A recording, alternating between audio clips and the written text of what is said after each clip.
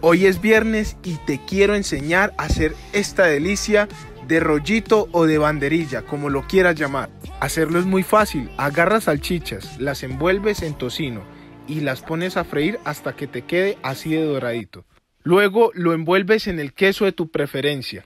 Luego de haber aplanado el pan un poco, envolvemos nuestra salchicha. Pasamos nuestro rollito por huevo y por pan rallado. Un truco para que la panadura te quede deliciosa, condimentala con ajo molido, pimienta y sal.